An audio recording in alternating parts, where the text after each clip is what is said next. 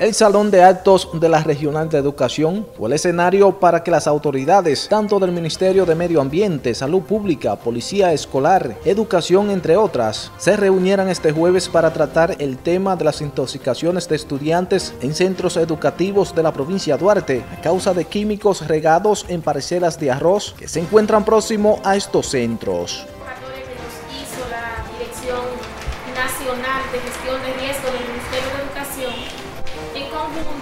eh, nos recomendaron también que invitáramos a las autoridades que forman parte del sistema educativo y que están involucradas en la búsqueda de soluciones conjuntas a la solución de las principales eh, actividades que se han estado realizando o acciones que han estado realizando eh, personas externas y que involucran la cercanía de los centros educativos cómo son las situaciones que hemos tenido últimamente de los niños que se han intoxicado y también todo el personal que labora en algunos de esos centros educativos.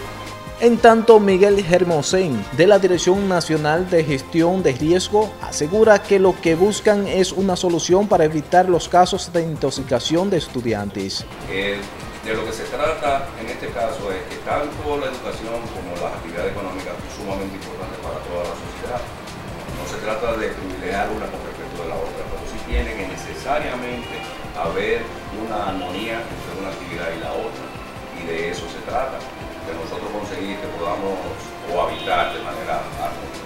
¿Se puede? Sí se puede. Definitivamente se puede, por la buena voluntad.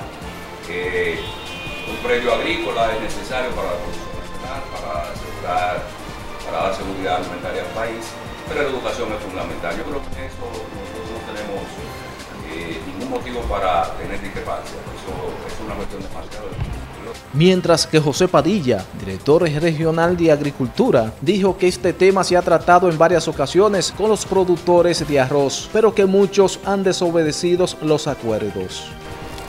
En reuniones anteriores, nosotros hemos tratado el tema. Inclusive, hemos tenido reuniones que hemos convocado a los mismos productores.